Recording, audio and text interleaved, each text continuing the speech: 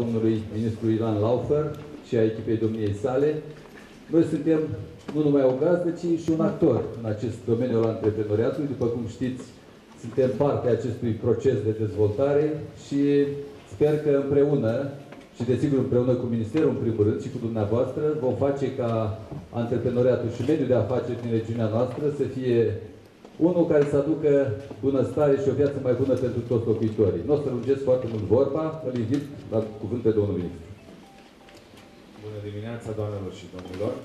Mulțumesc frumos! Uh, mă bucur foarte mult să mă aflu astăzi aici, în cadrul summitului de implementare pentru programul Startup Nation pe care îl efectuăm în uh, toată țara de data asta. Uh, în prima etapă, dacă țineți minte, când am început partea de promovare, am fost în peste 37 de județe și am avut ocazia și plăcerea și onoarea de a mă, pre, de a mă întâlni cu peste 10.000 de tineri într-o campanie care a durat 3 luni de zile și a fost așa un exercițiu de forță pentru promovarea programului Startup Nation. De data aceasta este puțin mai diferit, aș putea să spun. Este un summit de implementare. Împreună cu colegii mei din, din minister și din Uh, și din structurile pe care le avem în teritoriu și cu ocazia asta aș dori să vi prezint pe domnul Adrian Panai, care este directorul Direcției de Programe IMM din cadrul Ministerului și pe domnul Nacis Tăbăcaru, care este directorul agenției noastre de la Iași. Și mulțumesc frumos că ai făcut un efort să fii astăzi cu noi la Teatrul Neamț. Uh, partea de summit de implementare se întâmplă doar în 9 orașe, fiindcă am decis să o facem așa mai regională, fiindcă este un efort foarte mare și din partea partenerilor noștri de implementare uh, și le mulțumesc foarte mult că sunt astăzi cu noi aici. Uh, ideea este că ne dorim foarte, foarte mult ca acest program Startup Nation să se bucure real de sprijinul Guvernului României, nu doar în etapa de pregătire și de promovare, ci și în etapa de implementare. Și considerăm acest lucru fiind esențial și de aceea suntem astăzi aici. Ehm, o să împărțim evenimentul în, uh, în două părți. În prima parte aș dori să vă vorbesc uh, foarte pe scurt despre ce înseamnă programul Startup Nation în contextul dezvoltării ecosistemului antreprenorial în România Uh, și în a doua parte uh, o să invit alături de mine uh, partenerii noștri de implementare de la cele trei bănci. Este vorba de, despre CERTEN, Banca Transilvania și BCR. Și urmează să răspundem tuturor întrebărilor pe care dumneavoastră le aveți, ce fac referire la programul Startup Nation și, evident, să vă îndrumăm pentru a implementa cu succes planurile de afaceri Uh, eu mă bucur foarte mult să revin la Rubik Hub. Este un loc în care am fost cel puțin de două, trei ori până acum și uh, mă bucur să am ocazia să vin și să am o prezentare aici. Este un moment special, este un uh, hub de afaceri, este un loc în care uh, există o perspectivă foarte, foarte bună. Avem, uh, cred că peste 100 de companii care au luat finanțare din această zonă, dacă nu și mai multe în Arcistede, 82. Um, și totuși 82 de companii care au luat finanțare prin intermediul Startup Nation în această zonă reprezintă cel puțin 150 uh, spre 200 de antreprenori cu tot cu acele locuri de muncă care se vor crea prin intermediul programului Startup Nation. și uh, vreau să vă spun așa, ca să începem cu rezultatele uh, pe care le-am obținut până acum prin intermediul programului Startup Nation. În primul și în primul rând, uh, au aplicat aproape 20.000 de companii pentru programul Startup Nation în anul 2017, ceea ce este o, o performanță fără precedent uh, până în acest moment. În al doilea rând, uh, cred că este foarte important de uh, menționat că în anul 2017, deci până la sfârșitul acestei veri, în comparație cu aceeași perioadă anului 2016, s-au înființat uh, aproximativ 45% mai multe societăți comerciale în comparație cu perioada similară a anului precedent. Ceea ce înseamnă că programul Startup Nation într-adevăr a avut un impact. Uh, din, uh, din al doilea punct de vedere, vreau să vă spun că um, tot un rezultat fără precedent înseamnă 45% dintre cei care au, aplicat, care au aplicat și au câștigat sunt femei antreprenori. Pentru mine lucrul ăsta înseamnă foarte, foarte mult. Uh, cred foarte mult în potențialul uh, femeilor de a se implica în afaceri și dovadă, 45% din total aplicanți sunt femei antreprenori, ceea ce pentru noi înseamnă foarte, foarte mult. Uh, după care, avem 25% din proiecte câștigătoare în mediul rural. Este un început foarte frumos, dacă mă întrebați, mai ales că uh, schemele de minimis nu se adresează în principal activităților de agricultură primară. Deci, foarte mulți care au dorit să aplice nu au putut să aplice pe Startup Nation, având alte programe care fac referire la agricultură și la antreprenoriat în agricultură. Uh, evident că îmi doresc ca anul viitor să avem și cifre mai bune și poate să și îmbunătățim acolo unde putem programul și modul de aplicare, dar eu, pe per total, Uh, sunt foarte mulțumit de rezultatele pe care le avem până în acest moment.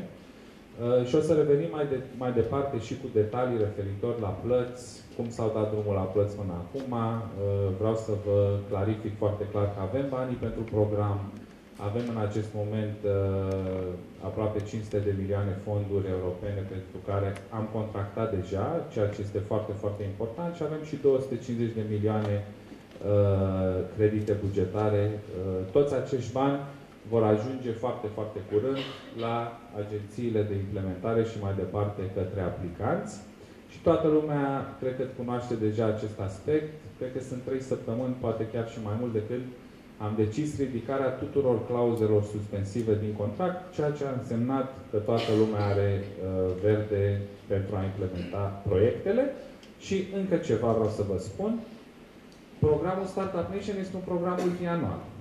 Deci, data limită până la care uh, toți cei care uh, vor implementa au timp să deconteze este 27 septembrie 2018, iar bugetul este de 1,7 miliarde. Dacă ne uităm că pentru ultimele mai puțin chiar de două luni ale acestui an avem 750 de milioane, suntem într-un grafic foarte bun. Iar diferența o avem garantată pe legea bugetului de 2018, deci dacă auziți că nu sunt bani pentru Startup Nation, nu este adevărat. Nu avem o factură refuzată la plată. Deci când o să avem factură refuzată la plată, discutăm. Până atunci nu cred că este cazul. Ok, uh, nu știu dacă pot și eu să primesc un uh, slide pentru prezentare ca să nu vă cer să... E perfect. Bun. Uh, vreau să, uh, să fiu foarte rapid la prima parte. Uh, și vreau să vă explic că tot procesul acesta, uh, să, să spunem, de promovare a programului Startup Nation, care a avut loc în peste 37 de județe, v-am spus acest lucru, și în total peste 50 de prezentări. Foarte multe dintre acestea, sau majoritatea aș putea să spun, și acolo unde s-a putut am insistat să se întâmple acest lucru, să avem prezentări în cadrul universitar. Uh, și cu cât mai mulți reprezentanți a mediului de afaceri, camere de comerț locale și așa mai departe. Pentru noi și pentru noi ca și minister este foarte important să facem niște pași serioși în ceea ce privește dezvoltarea ecosistemului antreprenorial în România. O, o, o să încerc studiul o secundă, vreau niște apă, rog frumos. Și uh, efortul pe care noi astăzi îl depunem ca să ne aflăm aici în fața dumneavoastră, împreună cu partenerii noștri de, de implementare și cu oamenii cei mai abilitați din punct de vedere, sau cei mai abili, din punct de vedere tehnic, uh, să dea răspunsuri și să găsim soluții acolo unde sunt probleme, fiindcă nu spun că totul este roz, uh, este un efort real pe care Guvernul României îl face pentru dezvoltarea ecosistemului antreprenorial. Asta vreau să vă spun, de asta vreau să discut în prima parte și uh, după cum puteți să vedeți, dezvoltarea ecosistemului antreprenorial în România și cred că este foarte important să menționăm aceste elemente ale ecosistemului antreprenorial din România, care începe prin politică guvernamentală, cadru legislativ, finanțare, cultura antreprenorială, mentorat, infrastructură, educație, capital uman și piețe. Și uh, cred că facem pași înainte. Ne aflăm aici, uh, practic, uh, noi, ca și guvern, care am creat acest cadru legal pentru a avea un program de asemenea amploare, evident, am încercat să implicăm mediul privat și în etapa de construcție prin mecanismele și uh, forumele de decizie pe care le avem în acest fel. Am implicat mediul educațional și lucrul ăsta pentru mine este foarte, foarte important, implicarea universităților în derularea și în susținerea programului Startup Nation. Uh, și nu în ultimul rând, evident, partenerii noștri de implementare, care reprezintă și un parteneriat între uh, zona publică și zona privată pe de o parte, dar care oferă și un sprijin real pentru implementarea programului Startup Nation, nu doar prin faptul că ne degrevează pe noi de certificarea echipamentelor la fața locului, care este uh, o chestiune extrem de importantă și eficientă pentru noi. Uh, am mai spus acest lucru. Este o economie foarte, foarte mare care s-a realizat pentru bugetul de stat prin colaborarea pe care o avem. Și uh, este foarte important să înțelegem că partenerii noștri de implementare au și un rol în, uh, să spunem, formarea antreprenorilor. Și am salutat aceste oferte pe care partenerii de implementare le au atunci când vine vorba de școala antreprenorială, de Uh, direcții pe care ei urmează să le ofere antreprenorilor pentru a avea un succes sau pentru a crește gradul de succes a business-urilor lor. Și vreau să vă spun, din punctul meu de vedere, vom continua să facem toate eforturile pentru a dezvolta uh, ecosistemul antreprenorial din România, fiindcă cele 3-4 elemente, să spunem, majore, pe lângă politica guvernamentală și susținerea guvernului în acest sens, este transferul tehnologic de la, uh, din, uh, de la instituțiile de învățământ superior și universități către mediul privat, către incubatoare și, pe de altă parte, aici va trebui să mai lucrăm la cadrul legislativ. Consider că incubatoarele sunt uh, în sine un motor de creștere economică, dar trebuie să avem un cadru legislativ ca acele companii sau persoane care, să spunem, se ocupă de aceste incubatoare să poată să aibă un profit sau să poată să aibă un beneficiu uh, pentru munca extrem de importantă pe care o desfășoară. Și în acest sens îmi doresc ca în 2018 să putem lucra la cadrul legislativ pentru incubatoare uh, și nu numai. După care, evident că atunci când reușim să creăm o conexiune între mediul academic și mediul privat, care este foarte importantă, Uh, trebuie să mai rezolvăm o problemă și ea se numește finanțare. În țara noastră știm foarte bine că una dintre problemele principale pentru companiile mici și mijlocii uh, este lipsa finanțării. Avem uh, o autofinanțare, să spunem, mult prea ridicată în comparație cu țările din vest, raportat la business-ul pe care îl desfășurăm. Și uh, evident că avem nevoie de un cadru legislativ mai bun în ceea ce înseamnă angel investors. Avem nevoie, uh, din punctul meu de vedere, uh, să avem și un cadru pentru partea de crowdfunding, de venture capital, adică un acces la finanțare mai rapid pentru IMM-uri. Un foarte mare pas înainte s-a făcut prin implicarea partenerilor noștri de implementare, care vă pot spune că Uh, și o să vin aici cu detalii, oferă credite inclusiv celor care nu s-au calificat pentru Startup Nation, unii chiar care au depus și nu s-au încadrat anul acesta uh, și au mers la partenerii de finanțare. Și cred că în acest mod, în această colaborare pe care noi o avem cu instituții de finanțare, ele înțeleg mai bine nevoile companiilor. Și vreau să le mulțumesc pentru, uh, să spunem, modul în care Uh, și-au ajustat oferta în conformitatea cererilor pe care noi le avem în piață. Uh, cam aceasta a fost partea de introducere uh, și din nou eu vă mulțumesc că sunteți astăzi aici. Este tot un efort comun pe care îl punem mediul public și mediul privat pentru a crea în cele ce urmează un mediu antreprenorial mai, mai competent, mai bun, mai, mai productiv. Acum, cu voia dumneavoastră, aș dori să invit partenerii de implementare alături de noi pe scenă uh, și, bineînțeles, să trecem la, la chestiunile tehnice care țin de implementarea programului Startup Nation, după care urmează să vă răspundem întrebărilor uh, pe care dumneavoastră le veți avea. Delia, vrei tu să începi? Poți tu să începi atunci, te rog. Delia de la BCR o să înceapă și îi mulțumesc frumos. Mulțumesc, Delia și bine v-am găsit. Numele meu este Delia Olteanu, implementez Startup Nation PCR. și mulțumesc domnului ministru pentru că a făcut menționarea referitoare la implicarea femeilor în Startup Nation. Uh, de asemenea, uh, știți că vârsta medie a antreprenorului în acest proiect este de 36 de ani și o să încep prin a mă prezenta. Sunt Delia, implementez Startup Nation în BCR, sunt femeie și am 36 de ani. Uh, o să trecem direct la ceea ce înseamnă proiectul pentru noi și o să vă spun că, în primul rând, ce ne-a plăcut foarte tare, ne-a plăcut entuziasmul pe care l-am primit de la dumneavoastră. Și când spun dumneavoastră, spun acei tineri care și-au dorit să facă proiecte și am simțit că este altceva. Este un tonus nou, un tonus pe care ni l-ați transmit și nou. Și pe parcursul dezvoltării produsului de Startup Nation am spus așa. Uh, l-am gândit la început cu mintea noastră de bancheri. Și n-a ieșit perfect, vă recunosc asta.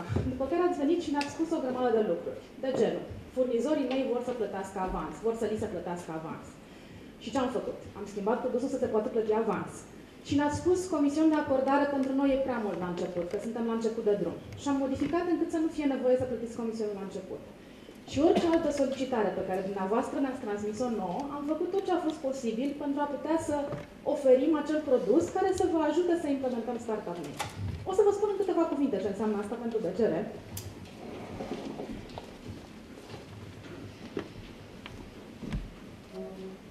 Bun. În primul și în primul rând, oferta BCR nu are în vedere doar uh, partea de... Să găsesc. Unde e pointer? Există? Sus.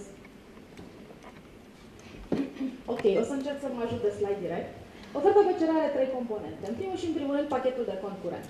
Așa cum probabil ați văzut și de la toate celelalte băncile, asta înseamnă 12 luni de tranzacții gratuite. Și când spunem 12 luni de tranzacții gratuite, spunem că sunt 12 luni nu de când v-ați înființat firma, ci de când ați deschis contul. Pentru că mi se pare esențial să vedeți cum lucrează o bancă, să vă faceți o impresie despre ea și abia în final să decideți dacă vreți să plătiți pentru serviciul respectiv. Partea a doua este de credit Startup Nation și pe subiectul ăsta o să ne oprim un pic mai mult, pentru că știu că e cel mai de interes pentru dumneavoastră și avem un slide special pentru el. Partea care mie îmi place foarte, foarte mult este ceea ce scrie aici consiliere financiară. Și când spunem consiliere financiară, ne referim la o școală de afaceri. Ce înseamnă școală de afaceri? De-a lungul experienței cu antreprenori tineri, am înțeles că ei au tot ceea ce trebuie, cunoștințe, entuziasm, voință și dorință de a implementa afaceri.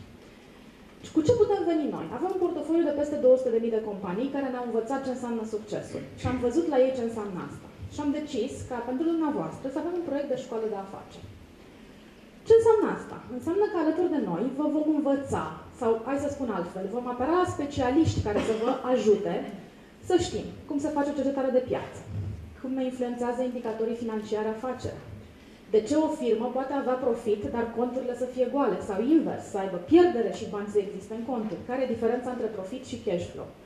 Vom învăța împreună ce înseamnă relația cu clienții furnizori și rotația stocurilor. Și pe toate astea, le vom face pentru a ajuta antreprenorii la început de drum, pentru ca dumneavoastră să puteți învăța de la cei care au trecut prin experiența asta. Și de asemenea, vom avea și un proiect de mentorat, prin care antreprenori ce au ajuns deja la o maturitate a afacerii o să vă poată susține pentru a vă învăța greutățile și provocările pe care le-au avut ei și cum le-au depășit. Dacă ne uităm exclusiv pe partea de credit, merge, dar nu merge pe ecran, merge numai pe... Încearcă în dreapta aici. Aici merge pe lemn. Pe televizor nu vrea. Și aici, pe dreapta. Bun. Pot pe ăsta. Da. Uh, dacă ne uităm un pic la partea de credit, o să începem prin costuri, pentru că recunosc că ăsta e primul subiect pe care îl întreabă oricine. Și o să vă spun că costurile PCR sunt unele simple de ținut minte, dobândă 3,5% și comisiuni de acordare 1%, care nu se plătește în prima lună, se plătește în lunile următoare, pentru a nu pune o presiune financiară pe antreprenor. De asemenea, e important să știți că dobânda se plătește doar pe perioada de implementare. Dacă dumneavoastră sunteți foarte rapizi și reușiți să implementați în două luni, dobânda se plătește pentru două luni și doar la suma utilizată. Deci discutăm doar de o dobândă anuală, care implicit, dacă o replicăm la un număr mai mic de luni, devine o sumă destul de mică. Bun. Am făcut aici o simulare de calcul pentru șase luni și total comisioane, ceea ce e important să vă spunem pentru că oferta asta e la început, dar sunteți a doua serie de antreprenori care le pot spune, noi nu mai vorbim astăzi de creditare și de pași incipienți, pentru că am implementat primele 8 proiecte. Și când facem asta, este dovada că se poate.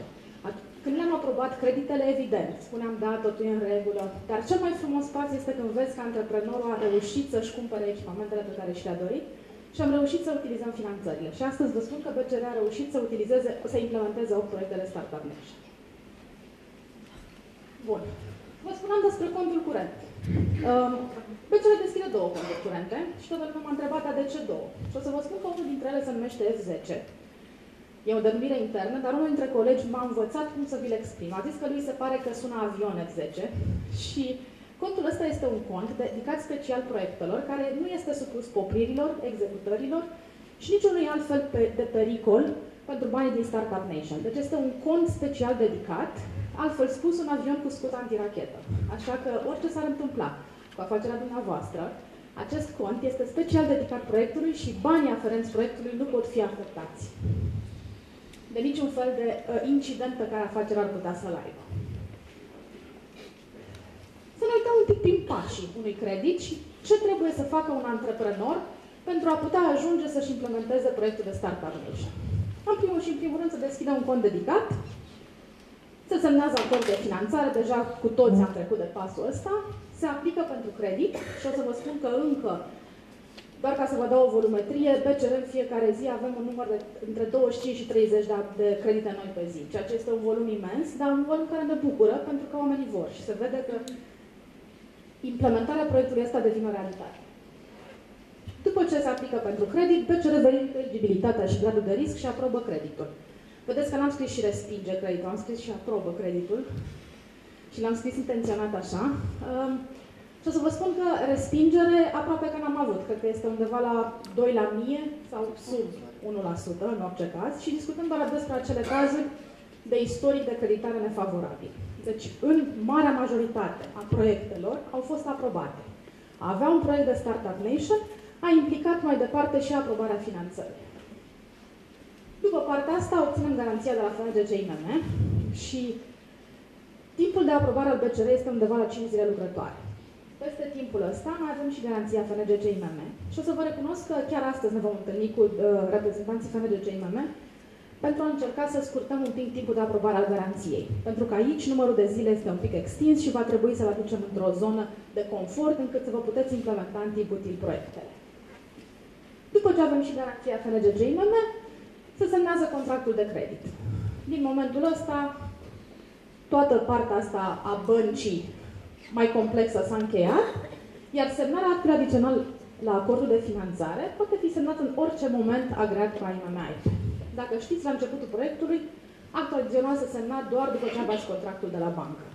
E, situația s-a schimbat, de când a fost permisă ridicarea clauzelor suspensive, puteți semna în orice moment actul adițional și chiar mai mult de atât, cei care ați semnat acum acordul de finanțare l-ați semnat direct, fără clauză suspensivă, deci nu mai e nevoie de acest pas. Bun. După ce aveți documentul ăsta, indiferent unde ar fi el pe acest flux al călătoriei clientului, se pregătește dosarul de achiziție. Și pentru pasul ăsta o să vă povestesc foarte puțin despre ce face BCR. Avem un departament care se ocupă de fonduri europene și care știu foarte bine ce înseamnă dosare de achiziție. Și atunci, pentru fiecare document pe care dumneavoastră îl prezentați pentru utilizarea creditului, noi îl verificăm și din punct de vedere intern, ca bancă, vorbesc, opinia băncii, din punct de vedere al corectitudinii față de dosarul de achiziție. De aceea, până când am folosit cele 8 credite de care v-am spus, am avut diverse discuții cu antreprenorii pentru ca totul să fie în regulă.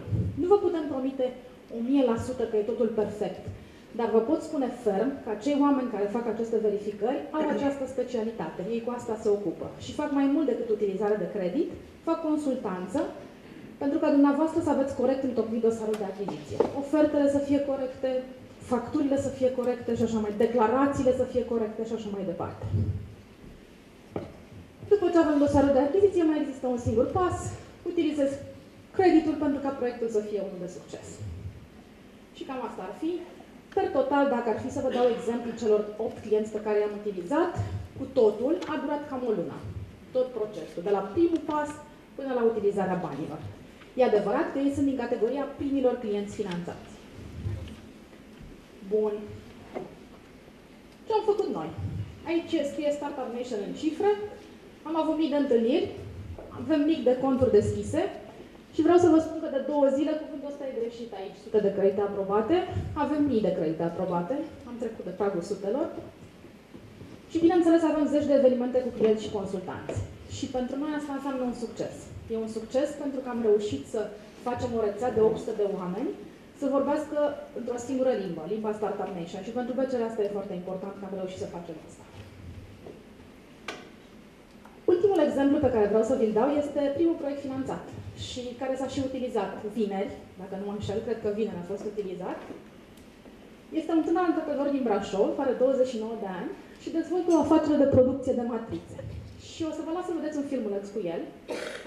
Însă, înainte de asta, vreau să vă spun ce mi-a plăcut mie foarte mult la acest antreprenor. Pe lângă faptul că e un tânăr, a învățat antreprenoriat în familie, pentru că tatăl lui face o afacere conexă și și-a dat seama că tatăl lui are nevoie de matrițe pe care le găsește foarte greu. Deci cele două afaceri sunt conexe, dar nu sunt aceeași afacere. Și a decis că el vrea să se investească în această industrie. Și o să vă las să vă spună el cum s-a gândit și ce a făcut până acum. Mulțumesc!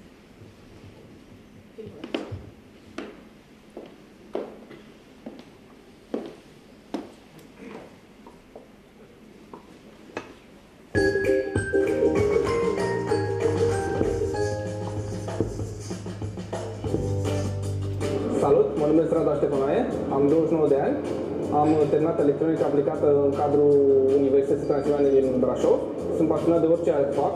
Am devenit antreprenor când am luat uh, decizia de a dezvolta un subiect pe care tatăl meu îl începuse. Am crezut că se potrivește mult cu ceea ce îmi doresc eu să fac. Ideea mea de business a plecat de la dorința de a-l ajuta pe tatăl meu, dar uh, mi-am dat seama că pot face multe alte lucruri și pentru oamenii din jur, local. Doresc să am un atelier micuț, cât mai performant, la care să fac lucruri care nu se fac așa ușor în România. Concret, uh, fac prelucrări mecanice. Am început prin a repara matrițe, fac și matrițe dedicate industriei de injecție în mase plastice, orice piesă unicat. Eu pe startup am aplicat pentru un aparat de măsură în coordonate, o investiție în calitate și în mărirea calității e foarte binevenită. Planul meu de afaceri presupune o structurare clară a operațiunilor ce include și partea foarte bună de control și de verificare a cotelor la un nivel foarte înalt. Ca număr de angajați vom fi în jur de 6-7. Clienții mei finali sunt toți producătorii de mase plastice, orice înseamnă unicat, orice client care are de făcut o piesă mai deosebită, de obicei o luăm și o facem. Am nevoie de o bancă, în principiu, cred că pentru început la o firmă mică, probabil că există și varianta unui credit, uneori nu poți fără să dăm probleme. E bine să ai încredere în tine și să și să, și să fii pasionat de ceea ce faci. Dacă te gândești să faci acest lucru doar pentru bani, ar putea să fie o problemă din punctul meu de vedere și indiferent ceea ce faci, cred că la un moment dat o să reușești.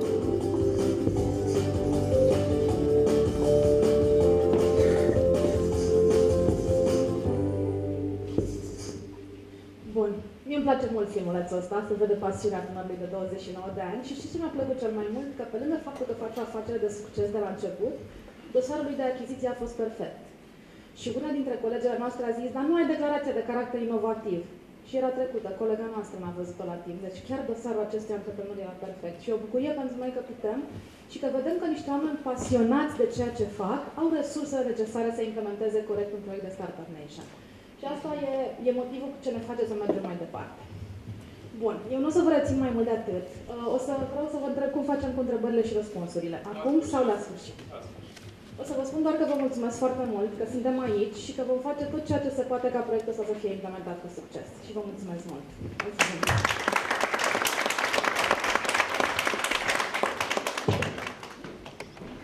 Mulțumim frumos, Delia. Uh, Invit pe colegii de la Banca Transilvania. Sunt?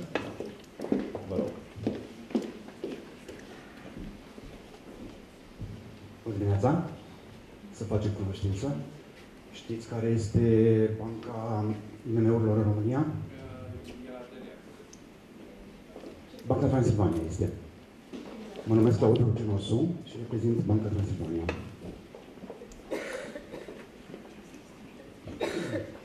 În cele ce urmează vă voi prezenta pe scurt câteva dintre produsele și programele dezvoltate de Banca Transilvania pentru IMM-uri și voi începe cu ceea ce prezintă interes și prioritate pentru dumneavoastră, cu ceea ce oferă Banca Transilvania în cadrul uh, Startup Nation. Și anume pachetul uh, Startup Nation, format dintr-un credit punte, care se acordă pe o perioadă de 18 luni, cu o dobândă de 3,9% fixă, uh, un comision de acordare de 0,75% și un comision de gestiune de 0,0% din valoarea creditului. Timpul de răspuns pe care îl oferim noi este de maxim 20 de zile. Garanțiile, așa cum scrie și pe prezentare, sunt 80% fondul de garantare și în completare bunurile achiziționate prin program. Începând de astăzi, uh, avem și o modificare. Am renunțat la bunurile achiziționate prin program și rămânem doar cu 80% fondul de garantare. Tot în cadrul acestui pachet mai avem și contul primul an gratuit. E un pachet de operațiuni și produse. Uh, conține internet banking și mobile banking și gratuități la ceea ce înseamnă deschiderea contului, gestiunea contului și încasările și plățile intra- și interbancare. În, tot în cadrul pachetului Startup Nation mai avem facilitatea Go Online, dezvoltată cu partenerii noștri de la Plugento și înrolarea în uh, PT Club. Uh, înrolarea în PT Club oferă acces gratuit la cursuri, traininguri și consultanță în mod uh, nelimitat. Legat de PT Club, în 21 noiembrie vom avea un workshop gratuit denumit Primii Pași Startup, va fi, la care va, vom avea un invitat special pe domnul Magnoniu Stan, antreprenor și trainer, Uh, pentru cei interesați, rog după terminarea evenimentului să-mi lase datele de contact, să le transmit invitația la acest eveniment. Uh, și pentru că nevoile de finanțare sunt diverse ale MM-urilor, uh, Banca Transilvania vine cu diverse soluții de creditare prin intermediul platformei rapide, prin care se pot accesa credite de până la 500.000 de lei, fără garanții materiale. De circa 2 ani de zile Uh, Banca Transilvania are în derulare și un uh, program prin care încurajează investițiile în produse și servicii fabricate în România, prin uh, oferirea de prețuri reduse față de ceea ce înseamnă prețurile la un credit de investiții în mod uzual. Pe partea de operațiuni, Banca Transilvania oferă um, pachetul nelimitat, prin intermediul căruia orice antreprenor se poate bucura de gratuitate în uh, tot ce înseamnă operațiuni în cadrul Băncii Transilvania. BTNIC este cel mai nou membru al grupului financiar Banca Transilvania și acesta are ca obiectiv finanțarea afacerilor mici cu cifre de afaceri de până la un milion de lei și o perioadă de activitate de minim 3 luni de zile. În cadrul Băncii Transilvania avem și noi un departament de programe europene formată din specialiști în domeniu. Aici vedeți câteva dintre programele de finanțare externă pe care le derulează Banca Transilvania. Pe lângă aceste programe de finanțare externă, colegii noștri ne ajută și pe partea de implementare și finanțare uh, proiecte pe fonduri europene. Dintre rezultatele acestui eh, departament, țin să amintesc că sunt peste 3500 de proiecte pe fonduri nerambursabile finanțate și peste 3000 de credite prin programe cu finanțare externă acordate. Vă mulțumesc!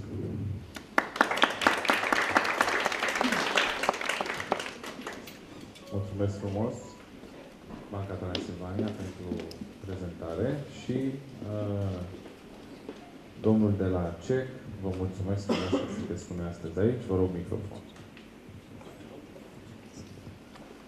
Bună ziua, domnule ministru, bună ziua, doamnelor și domnilor.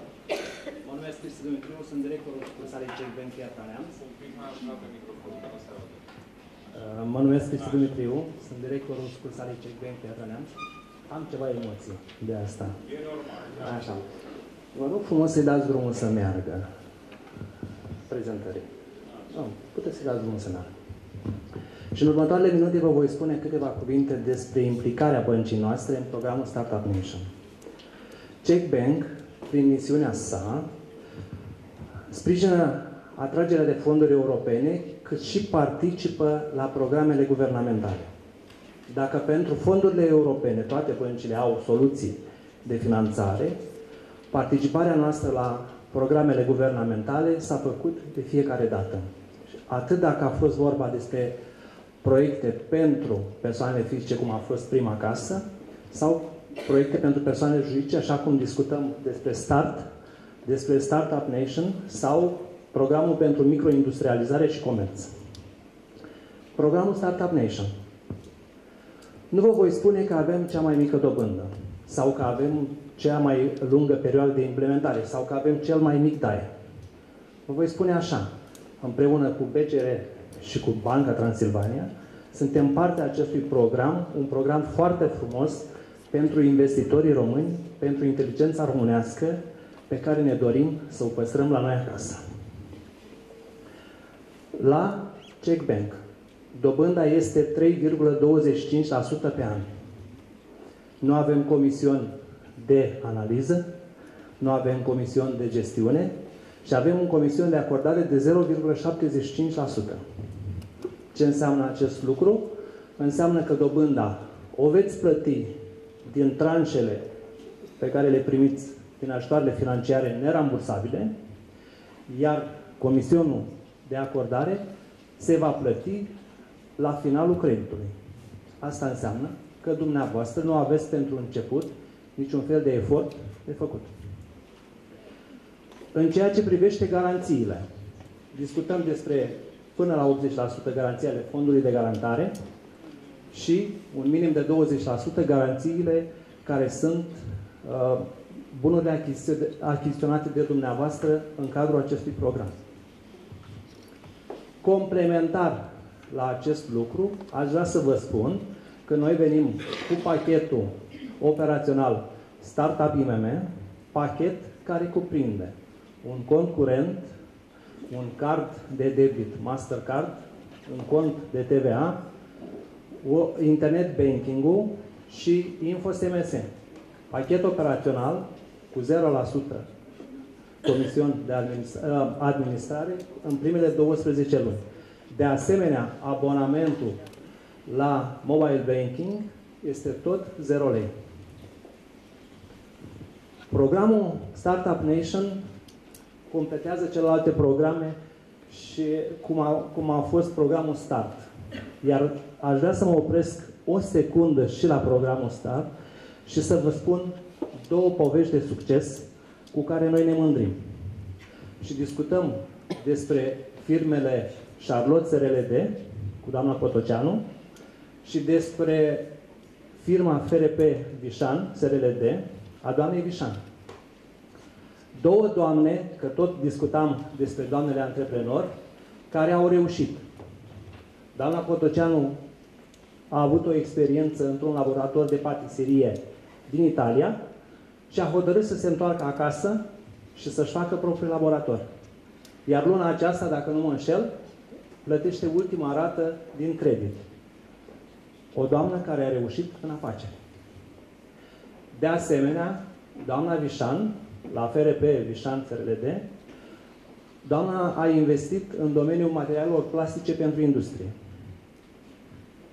În acest moment are export cu Germania, cu Franța, cu Bulgaria și lucrează cu majoritatea firmelor din industria petrolieră. De asemenea, la Camera de Comerț, la una dintre secțiuni, a luat locul întâi.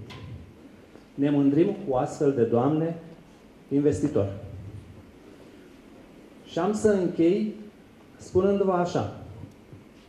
Greșim. Ne spun unii că greșim. Da, uneori greșim. Cei drept, când avem 153 de ani vechime, s-ar putea să mai și greșim. Dar încercăm de fiecare dată să fim mai buni. Vă mulțumim pentru tot ceea ce ne spuneți, bune și rele, și încercăm să fim mai buni în fiecare zi. Încercăm acest lucru mai ales de 10 ani, de când ne-am transformat dintr-o casă de economii și consemnațiuni în check bank. Și în loc să ne adresăm doar persoanelor fizice sau preponderent persoanelor fizice, aveam la acel moment 70% operațiuni cu persoane fizice, am ajuns să avem 60% credite cu persoane juridice, IMM-uri și clienți mari.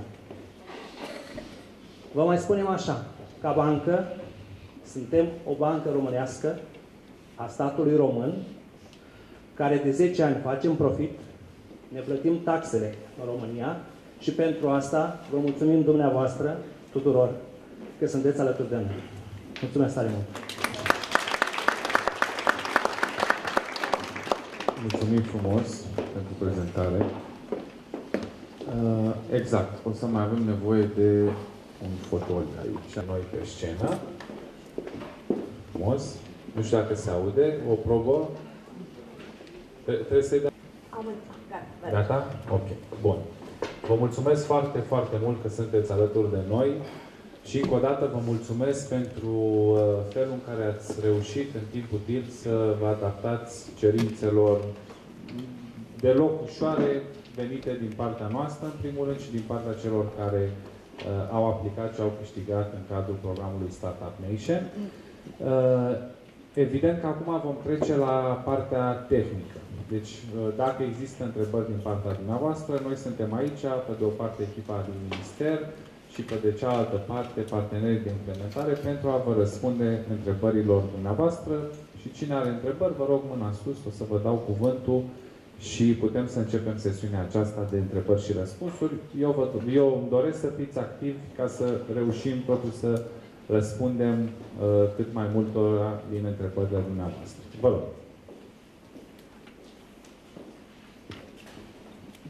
Te rog. Se va prelungi perioada de implementare după 29 septembrie 2018? Nu. Deci, în acest moment, în acest moment, uh, stadiul este următorul. Uh, noi, uh, în acest, de fapt, până miercuri săptămâna aceasta, și telefonul vă rog să-l dați pe silent, cui sună, așa. Uh, noi până săptămâna aceasta, miercuri, ne-am propus să finalizăm uh, semnarea tuturor acordurilor de finanțare. Cred că suntem deja peste 8200, ceva de genul acesta astăzi, da? Uh, în total ne vom opri undeva la 8600-8700 de acorduri de finanțare anul acesta, în limita bugetului pe care îl avem, evident, și tocmai din acest punct de vedere, noi ne dorim să cheltuim toți acești bani. Asta a fost o prioritate zero pentru noi.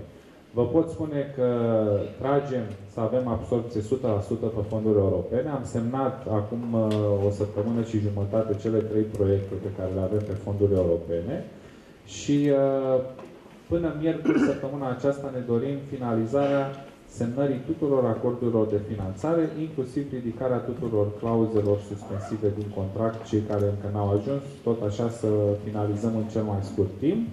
Și vă pot spune că chiar până la sfârșitul acestei săptămâni urmează deja să transmitem uh, bani către agenții ca să poată să înceapă să facă plățile uh, în conformitate cu cererile de plată sau de rambursare pe care le, le vom avea. Și pentru cei care și-au făcut pentru 2018 cerere de plată, vor mai fi bani tot de aceste Bineînțeles, repet, este un program multianual. Noi avem bugetul de 1 miliard 700 pentru anul 2017 și 2018. Dacă țineți minte, când ați uh, aplicat în conformitate cu planul de afaceri, ați avut trei momente la care puteați să veniți să faceți cerere de plată sau de rambursare.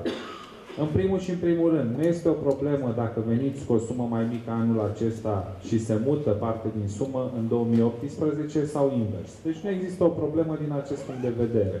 Aveți flexibilitatea ca în interiorul acestor trei cereri de uh, plată sau de rambursare să cheltuiți toți banii în conformitate cu planul de afaceri, chiar dacă Ați spus anul ăsta că veți cheltui 100 de mii de lei și anul viitor 100 de mii și cheltuiți anul acesta 50 de mii și anul viitor 150 de mii. Nu este o problemă, fiindcă noi banii pe care îi avem în acest moment dintr-un miliard 700 sunt 750 de milioane, iar diferența va fi inclusă pe legea bugetului din 2018, deci nu există niciun fel de îndoială în acest sens. Vă rog, altcineva. Vă rog.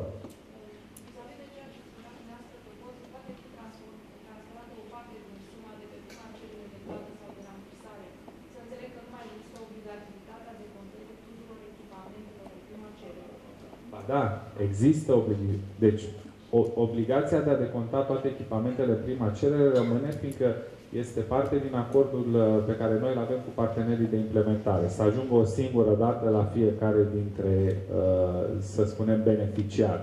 Dar asta nu înseamnă că dacă aveați uh, prevăzută această cheltuială pentru decembrie anul acesta și o mutați în ianuarie anul viitor, este o problemă. Nu este.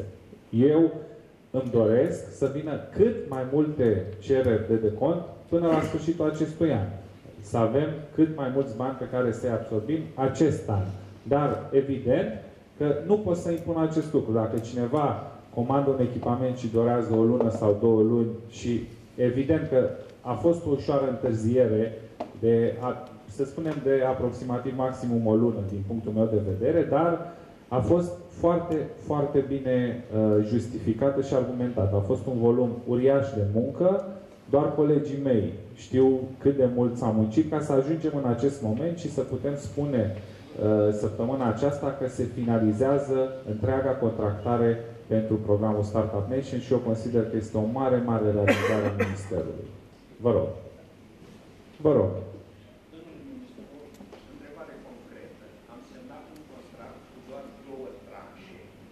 Da. Și partenerul nostru care este BCR Da. a interpretat acest contract, a doua tranșă trebuie deportată până la iunie 2018. Ok. Bun, depinde cum ați avut dumneavoastră în, aco- în a- articolul 2 din acord de finanțare. Dacă ați avut prima tranșă în decembrie și a doua tranșă în iunie, așa am interpretat. Dacă l-ați avut iunie cu septembrie, Nu sunt termeni în contract, sunt două tranșe. nu puteți să nu aveți niciun fel de termen. Deci inclusiv Ba da, 2017, prima tranșă, 2018, tranșa a doua. 2007. Dacă aveți prima tranșă în 2017, este 31 decembrie, că așa e termenul standard al tranșei, iar dacă aveți prima tranșă în 2018, este până în iunie. Dar asta nu, implic, nu e o problemă. Noi, în funcție de cum aveți dumneavoastră proiectul sau dacă vreți să schimbați ceva, putem, fără niciun fel de problemă, să schimbăm structura finanțării. Deci nu faceți griji că nu e o problemă aici.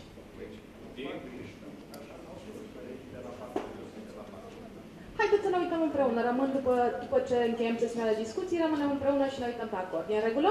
Nu mai există o situație similară Deci, prezentată de Din, din punctul nostru de vedere, termenul limită pentru decont este 27 septembrie 2018, dacă nu greșesc. Așa este.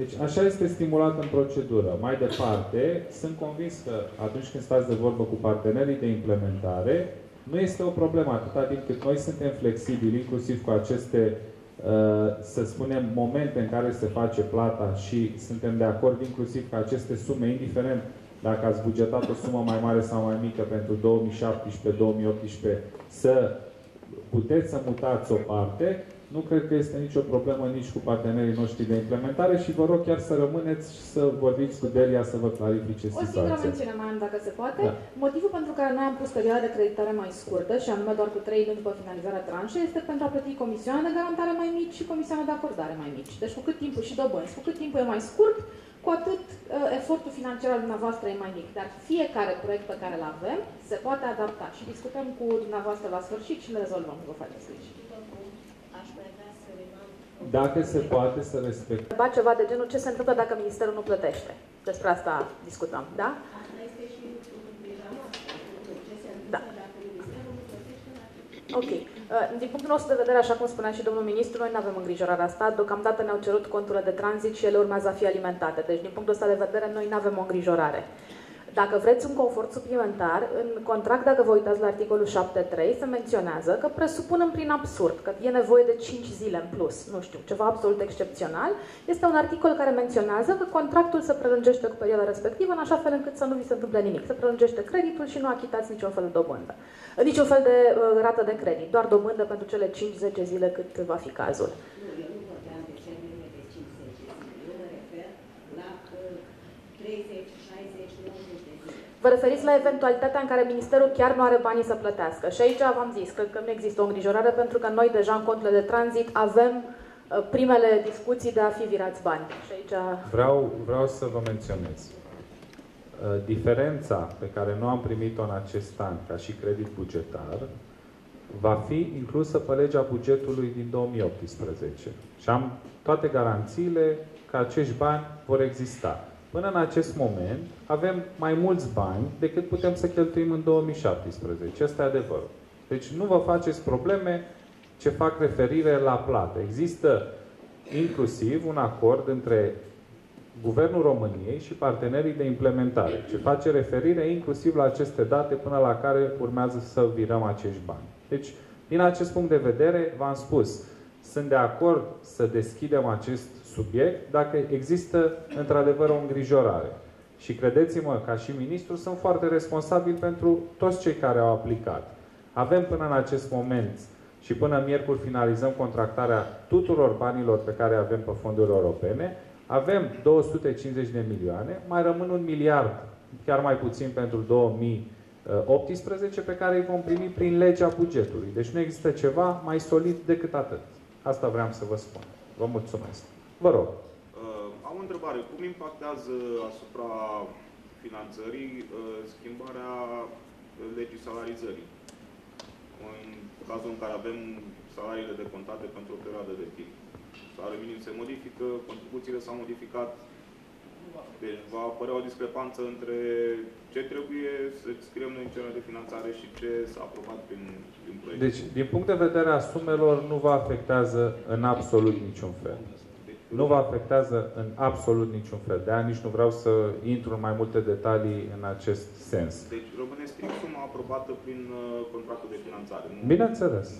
Suferă modificări indiferent de Suma evoluția sa. care a rămas în contractul de finanțare, aceea este suma pe care o decontați. Da? Și, oricum, cred că s-a explicat și de către colegii mei, cu trecerea acestor contribuții, nu există niciun fel de majorare de cost pentru angajator și nu există o scădere de salarii pentru angajat. Am văzut astăzi chiar și o declarație că inclusiv pentru sectorul IT, care urma să fie afectat cu o ușoară scădere, care venea din cauza faptului că nu plătesc anumite taxe și impozite, colegii mei au garantat că vor găsi o soluție ca salariile acestora în continuare să aibă acele facilități fiscale. Deci cred că chiar nu avem ce să discutăm în acest sens. Vă rog. Vă rog. În legătură cu dosarele de achiziții, aș avea o întrebare la dumneavoastră. Deci, transmitem oferte, cereri de oferte către furnizori și mă, nu vom primi trei oferte, minim trei oferte, da? Dacă primesc o singură ofer- ofertă care este conformă în ceea ce privește termenul de livrare, în ceea ce privește prețul, care uh, este suficient, În primul și în primul rând v-am Deci spus acolo- că nici nu sunteți obligați să aveți oferte neapărat transmise. Puteți să mergeți și pe site. Ba, ba, a, a, la, scuze, da, scuze, am făcut o confuzie cu plan. Da, deci cele trei oferte trebuie să le aveți în felul următor. Dar în cazul în care există un echipament special unde nu puteți avea trei oferte, puteți să mergeți și pe baza unei singure oferte pe care o primiți și o justificare în acest sens. eu transmit invitații către uh, furnizori. Da. Da. Uh, Ei mă contactează, spre exemplu, telefonic. Am un termen care îl solicit eu, în care să mi se livreze utilajul respectiv. Ei nu pot respecta termenul respectiv. Și există un singur furnizor care respectă termenul și îți trimite o ofertă conformă. Este ok să încheiem contractul? Deci. Eu am dovada că am transmis 5 invitații, nu 3, Bun. 5. Procedura noastră de achiziție este cea mai simplă posibilă. Uh, Problema e că 3 oferte Așa. sau una. Deci, dumneavoastră aveți obligația să transmiteți minim trei cereri de ofertă identice ca uh, specificații, da? Deci uh, le transmiteți identic la toți posibilii furnizori. În aceste cereri de ofertă aveți caracteristici tehnice minime, termene de plată, termen de livrare.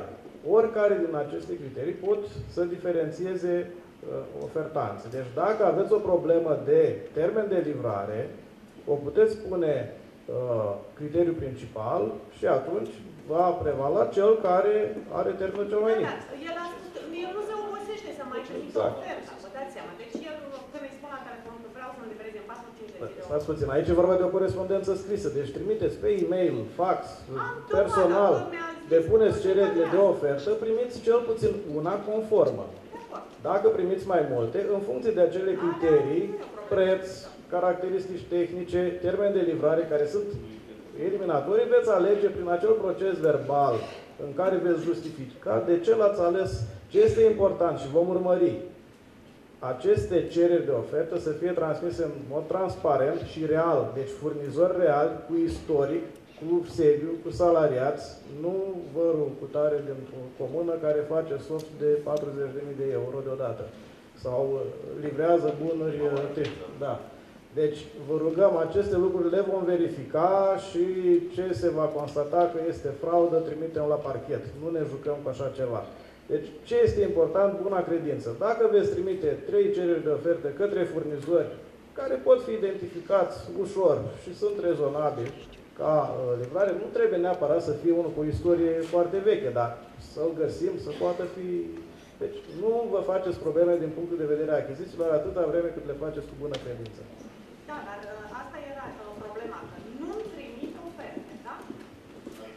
Nu se mai mulțumesc, eu ce fac? Noi cu furnizorii noastre nu putem discuta. Nu, cred că am procedură ce se poate întâmpla în cazul în care am doar o singură ofertă conform.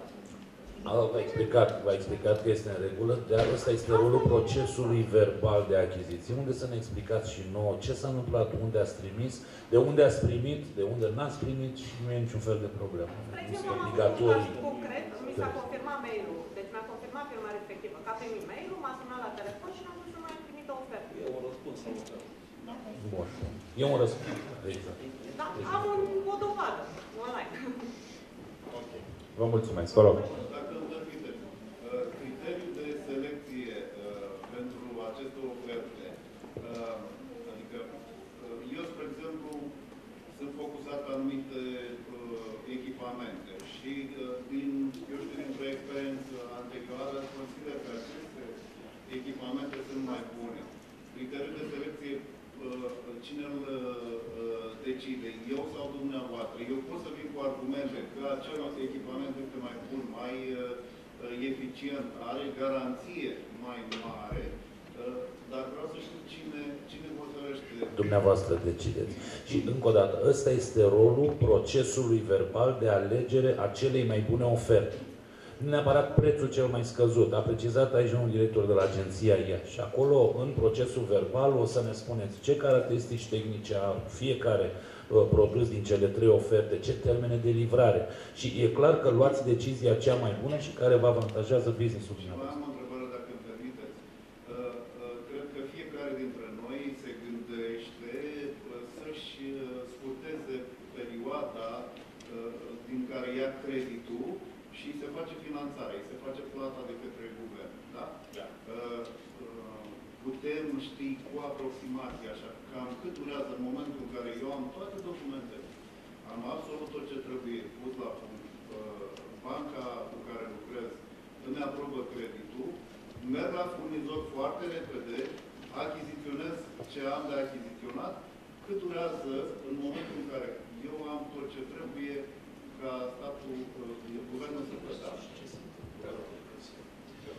Din momentul în care dumneavoastră ați depus documentația de, depon, de decont, da? cu tot ce trebuie la agenția de care aparțineți, oamenii de acolo verifică acele deconturi, urcă în aplicația noastră informatică un formular de decont aprobat de către unitatea care a verificat.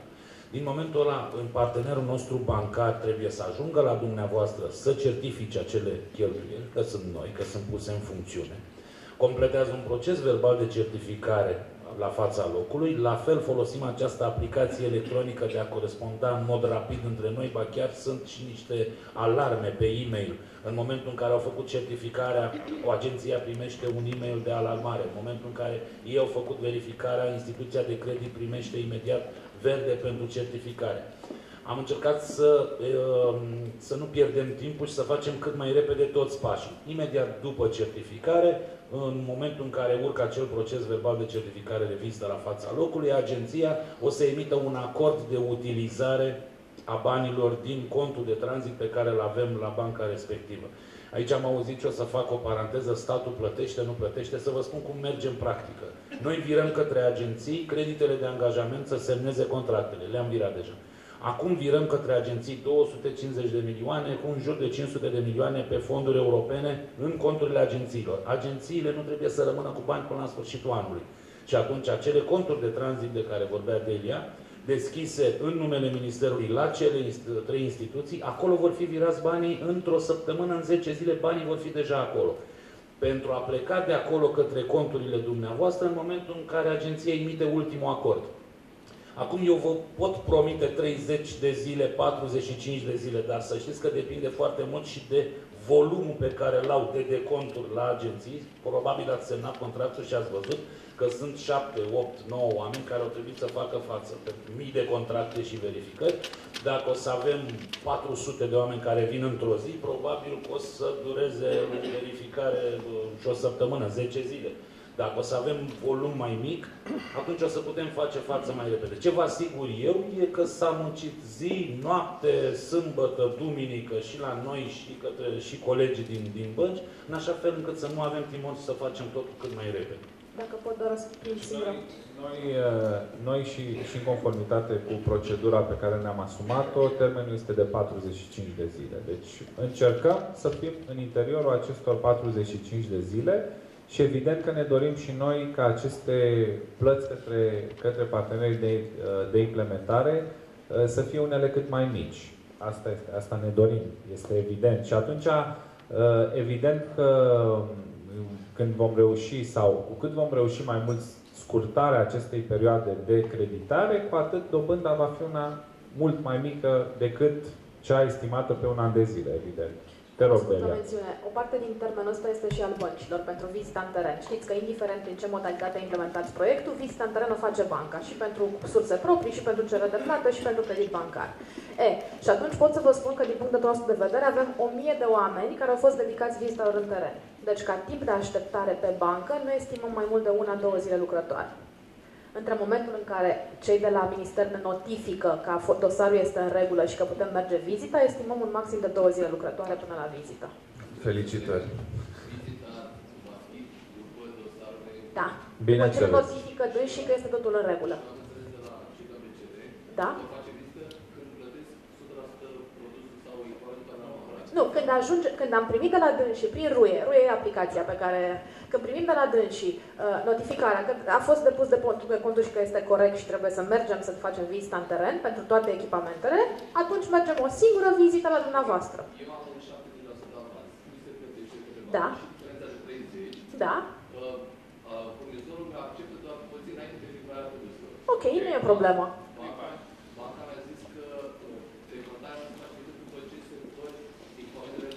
Nu în cazul BCR. Două chestiuni separate. Una este accesarea creditului punte și utilizarea acestuia care aveți partenerii de implementare față în față cu dumneavoastră și au spus că achită și până la 99% avans pe factură.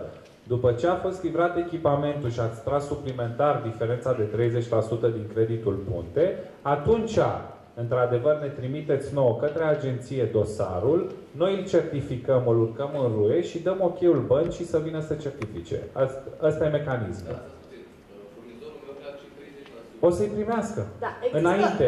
Eu știu ce, la ce vă referiți. Sunt oferte diferite între bănci și pot să vă spun în cazul BCR că noi facem plata integrală a echipamentului fără să-l vedem, indiferent de valoarea acestuia, iar vizita în teren o facem la sfârșit, în momentul în care primim de la dânsi Asta Da. Tot așa. Da. Și Banca Transilvania la fel. Problemă. Ați utilizat creditul punte, ați, ați achitat echipamentul, după care faceți dosarul, îl transmiteți către noi, dăm verde, să vină la certificare, evident, îl certifică, după care vă facem plata și închideți creditul punte. Și okay? pentru că în mediul online e o întrebare des întâlnită, nu se plătește certificarea în teren. Ah, da. E foarte des. Rog frumos.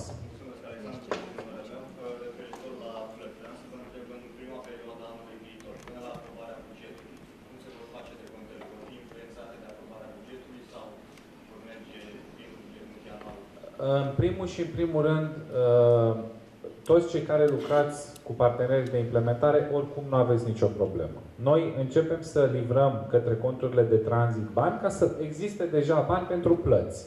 Dar uh, fluxul Și indiferent cum vin banii, dacă vin în ianuarie sau în februarie sau în martie, nu vă afectează în niciun fel. Deci asta este treaba noastră, asta e, e responsabilitatea mea ca și ministru să nu existe facturi întârziate la plată. Deci din punctul ăsta de vedere vă pot spune că nu există o problemă. Din al doilea punct de vedere vă pot spune că lucrăm deja la bugetul pentru 2018 și sper că îl vom adopta anul acesta. De așa natură încât să nu trebuiască să intrăm în anul 2018 să aprobăm bugetul în martie. Deci Vă garantez că este o prioritate pentru noi să adoptăm bugetul până la începutul 2018. Vă rog.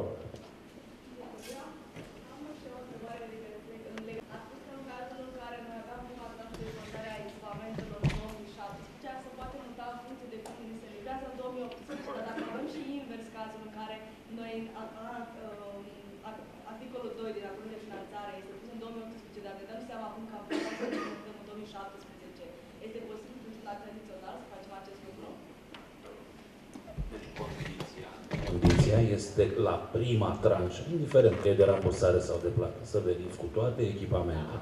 Puteți să mutați prima tranșă în 2018, asta a spus domnul ministru. Dar nu mai mutați tranșa a doua în 2017, nu. Tranșa întâi trebuie să fie... Dacă avem prima tranșă în 2018, vreau să o în 2017. Da, e corect, da, fără niciun fel de problemă. Dar cu acordul agenției.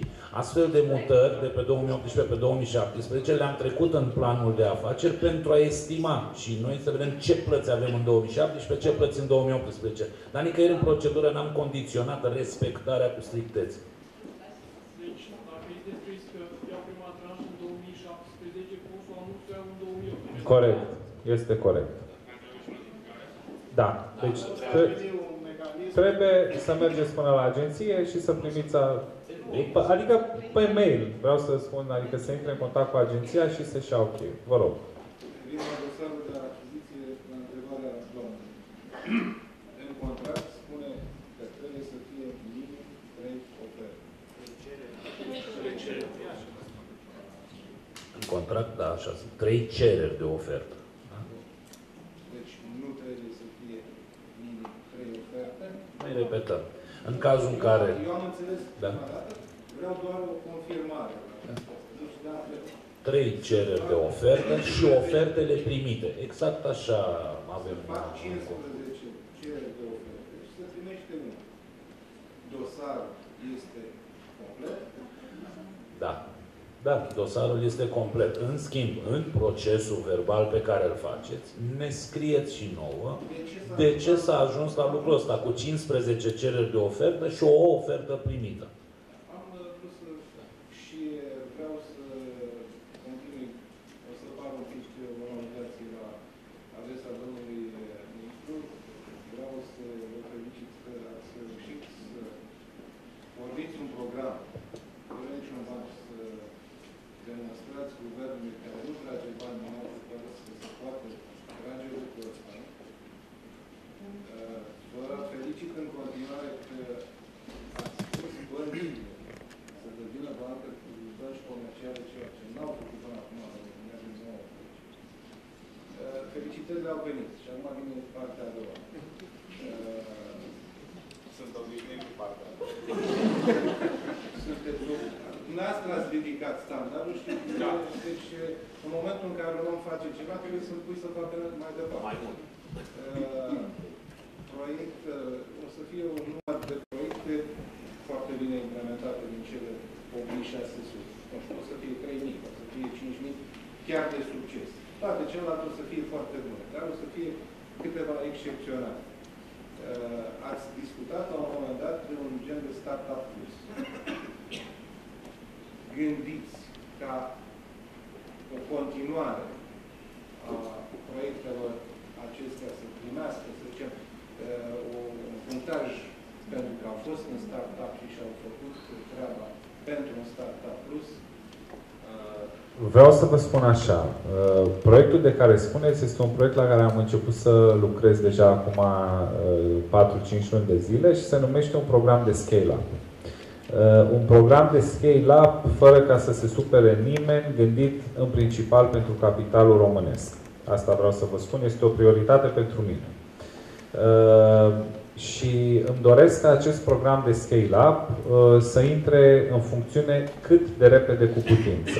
Vă dați seama că nu depinde doar de mine, sunt niște discuții, negocieri și așa mai departe, dar este un program uh, uh, care va fi un program foarte ambițios, va fi un program pe care eu îl estimez să aibă un uh, buget anual tot de 2 miliarde de RON și în principal acest program are rolul de a întări companiile românești. Deci acolo unde astăzi mai avem sectoare în economie unde avem peste 50% companii românești care înseamnă sectoare strategice de dezvoltare pentru Guvernul României, uh, cu prioritate acolo aș dori să ajungă acești bani, dar și către companiile românești care au avut un uh, start frumos și care doresc o susținere suplimentară din partea noastră. Deci ne dorim foarte mult uh, ca această nouă generație de antreprenori creată prin Startup Nation să aibă continuitate, să aibă suportul nostru și, din nou, trebuie să felicit eu băncile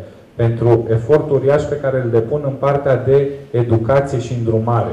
Este fără precedent și mă bucur că se întâmplă acest lucru la un nivel atât de înalt. Este ceva foarte important. Uh, probabil că în următoarea lună, când să ne vom apropia cu bugetul pe anul viitor, vă voi anunța când și în ce condiții va intra această schemă în vigoare uh, și vă garantez că vor exista uh, și sume mult mai mari alocate companiilor românești în mod special, cu potențial major de internaționalizare sau de extindere a activității pe piața locală.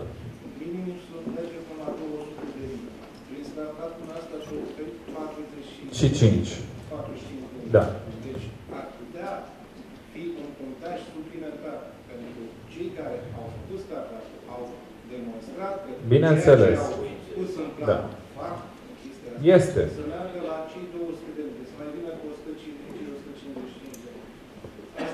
Mai mult sau mai puțin, asta este direcția. Da. Dar nu doar pentru cei care au aplicat pe Startup Nation, ci și alte companii care... Da. Vă mulțumesc. Uh, Înțeleg că se pot face modificări în ceea ce privește termenele de decontare. Întrebarea mea este dacă se pot face modificări în ceea ce privește uh, investiția în sine. Adică, la modul, pot apărea o mulțime de uh, modificări. Să renunț la o lună de salarii și să uh, pot plăti un echipament la întreaga valoare, în condițiile în care eu am făcut uh, proiectul când euro era 4 și aproape 4,45 sau ceva de genul ăsta, acum este 4,65 sau cât va fi până la sfârșitul anului. Eu cred că o să mai scadă, dar eu... Uh, Să sperăm că o să scadă, da. Dar uh, uh, sau pot uh, sau modifica prețurile. Apar uh, diferențe. Deci, În da. cadrul, în cadrul aceleiași sume aprobate uh, prin contractul de finanțare. Liniile aprobate nu se pot modifica. Dacă doriți să renunțați la ceva, nu este nicio problemă. Se va recalcula pentru a obține punctajul din proiect. Deci nu există... Ce m-ați întrebat dumneavoastră, dacă puteți compensa de pe un buget? Nu, nu se poate. Luăm de undeva să ducem dincolo. Nu, nu se poate. Nu se pot modifica echipamentele, deci liniile de cost, uh, nu se pot transfera sume. Dacă se renunță la un element de cost și a, proiectul ar putea deveni neeligibil prin prisma punctajului, noi vom recalcula. Nu, a fost o problemă în trecut, uh, dar acum este rezolvată. Acest aspect l-am întrebat, Da. doar dacă Nu, Nu, răspunsul nu, este numai că trebuie să dacă... luați într-o categorie și să compensați într-alta. Deci nici putem în cadrul muta... aceleași uh, categorii. Să zicem că le-am uh, pus acolo trei mașini de cusut și un... Așa. trei mașini de cusut și un exact același trebuie să fie pe cererile de ofertă și pe decont. Exact aceleași denumiri sau aproape aceeași denumire. Dacă mai completează furnizorul ceva, noi trebuie să vedem că vorbim de același utilaj. Dacă nu se poate, la factură se poate anexa o declarație a furnizorului prin care elementul de cost, cum se cheamă el la el în contabilitate, este interpretat ca fiind elementul de cost aprobat de noi. Da. Cererile de ofertare trebuie să fie individual și care echipament sau pe calcul? Cum doriți. Da. Ca să văd. Aici. Bună Cineva. ziua. Bună ziua. Vă rog, Referitor la personal, dacă pot face angajarea înainte de achiziția utilajelor. Din moment ce aveți Din moment ce aveți acordul semnat, puteți să faceți angajarea, dar nu mai târziu de prima cerere de rambursare. Asta este regulamentul. Și de asemenea, personalul este face Uh, parte din categorie ultima. defavorizată. Nu, așa. Stai. Ultima. Scuză-mă, scuză. Scuză-mă, scuză Deci nu mai târziu de ultima cerere. Da, da. Puteți să faceți angajarea. Deci, din punctul meu de vedere, dacă ați trecut salariile ca și costuri eligibile în cadrul, nu le-ați trecut, atunci vă avantajează angajarea să o faceți la ultima cerere de, de rambursare. Vă rog. Aș mai avea o întrebare, dacă da. tot, tot referitor la personal, dacă vă supărați, cum dovedesc cu hârtii că face parte din categorie defavorizată? E trecut în proiect, dar în momentul în care veniți dumneavoastră, ce îmi cereți anume să dovedesc? Pentru fiecare categorie din acea hotărâre de guvern care stabilește clar ce uh, fel de categorie intră în persoanele defavorizate, aveți cât un document. Dacă e șomer, vă trebuie adeverință de la forțele de muncă. Dacă are o calitate, nu știu, vădul, dacă sau Există cât un document pentru fiecare tip de persoană defavorizată conform hotărârii de guvern. Vreau să completez ceva la prima întrebare.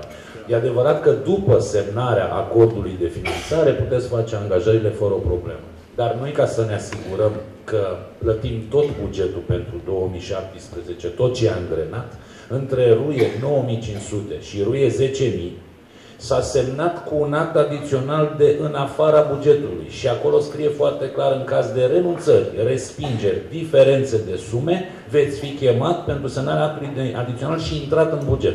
Adică ne-am asigurat o marjă de 300-400 de aplicanți admiși, dar în afara bugetului alocat programului, cu ca, pe care să-i chemăm în momentul în care avem diferențe de sume. E, aceia care intră între 9500 și 10.000 nu pot face angajările decât după semnarea adiționalului. Am vrut să fie foarte clar, să nu...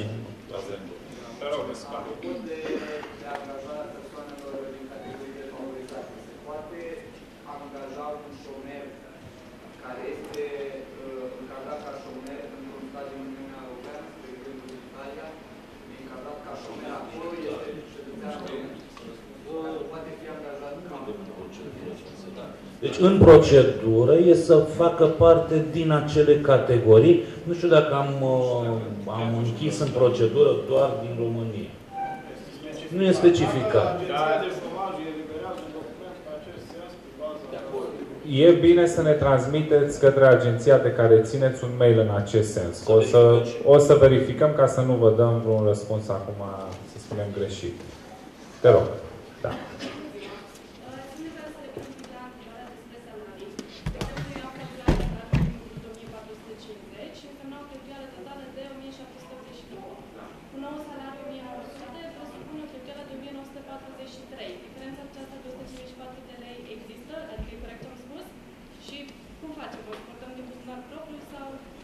Deci acest program,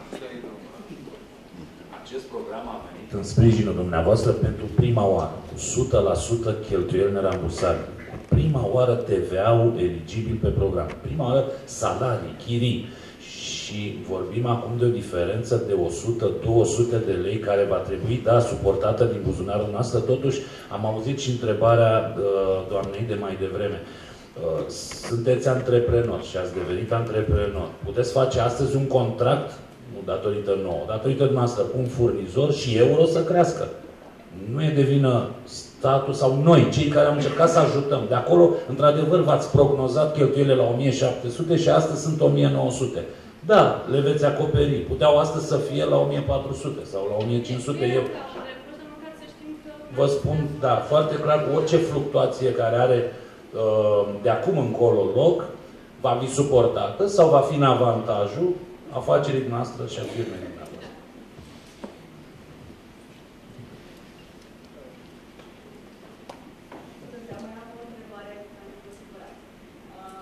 În prima tranșă, dacă putem combina cererea de plată cu cererea de rambursare, având în vedere că luăm toate echipamentele, iar un furnizor cere avans.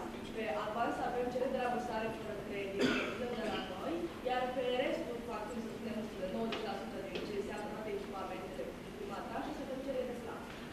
În momentul ăsta, așa cum arată schema, aveți dreptul la cele trei tranșe. Fie- Fiecare din cele trei tranșe poate să fie ori cerere de rambursare, și aveți model, ori cerere de plată. Nu puteți veni cu două cereri în aceeași tranșă, nici n-ar face față nici colegii mei din teritoriu. Deci încercați să faceți ori cerere de rambursare, ori cerere de plată pe fiecare tranșă în parte. Nu combinați. Da. Da. Mă scuzați, o întrebare pentru achizițiile de soft, de care n-am vorbit nimeni. Avem oferte prin țară care sunt aproape de două ori mai mari decât oferta furnizorului de pe site. Dar mă îndoiesc că Autodesk din America îmi va trimite mie o ofertă scrisă. Pot să cumpăr pe baza ofertei pe care o au ei pe site la jumătate de preț? Teoretic, orice site este gestionat de o societate. Acum, dacă dumneavoastră, într-adevăr, Autodesk nu vă va trimite nici măcar o ofertă și nici nu vă spune nimic. Tot la furnizorii acreditați, mai este o problemă la software cu licență. Nu poți să-l cumperi din orice țară, adică acea licență nu este valabilă în România. Dacă iei licență în Marea Britanie, care este mult mai ieftină, licența de Autodesk din Marea Britanie nu este valabilă în România, pentru că ei au licență pe țară. La fel și la Microsoft, la fel la ori Eu în nu genere am la licență cele. pentru România, dar Fiecare producător de software are niște reglementări. Acea reglementare presupune uh, anumite restricții, dar dacă... Să știe dacă poate să cumpere fără a Nu. primi oferta. Vă spun Nu să puteți, pentru că trebuie să primiți totuși ceva. Din Uniunea Europeană, în general, se cam primesc răspunsuri la... Dar va fi mai greu, trebuie să-l traduceți. Ați avea mici dificultăți în sensul acesta. Există un teren pentru semnarea operațională a acord? Nu există. Da, nu pe toată lumea, vă mai trimite... Dar cred că toată lumea a fost chemată deja, nu? Toată lumea a fost Vă chemată. mai trimite, acum avem vreo 150 care v-au semnat. Suntem chiar pe, pe final, vă rog. La denumirea produsului, chiar dacă este de același tip, am situația în care un anumit tip de laptop, de exemplu, nu mai găsesc. Eu, Nu aveți o problemă în acest sens. Deci în suma pe care și în sumă și în buget puteți să modificați. Nu este nicio problemă. Ceea ce vă rog, sunt și partenerii noștri de implementare aici și vă pot răspunde la niște întrebări, adică știu că vă uitați toți în, în direcția mea. Au și microfon, Delia e super ok, vă rog, da. Delia,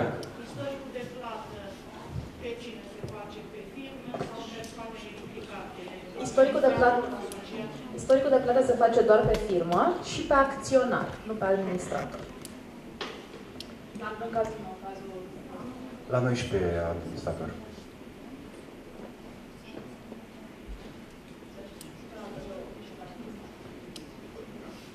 Pentru că am văzut la bancă, da.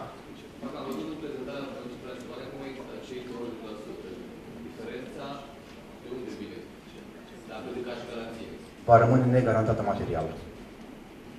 Doar 80% grad de garantare. Bună ziua! Vreau să vă adresez o întrebare dumneavoastră, domnule ministru. Uh, Mai devreme m, ați făcut uh, mențiunea cumva că s-a încheiat perioada de evaluare a proiectelor. Așa este? S-a terminat această perioadă?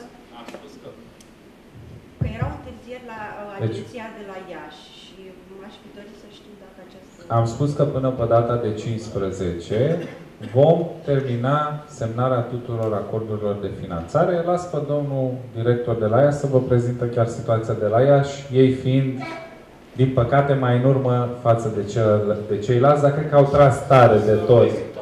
Au ajuns și ei, da? Bravo! Domnule ministru, vă spun că noi eram ultimii, dar am terminat primii.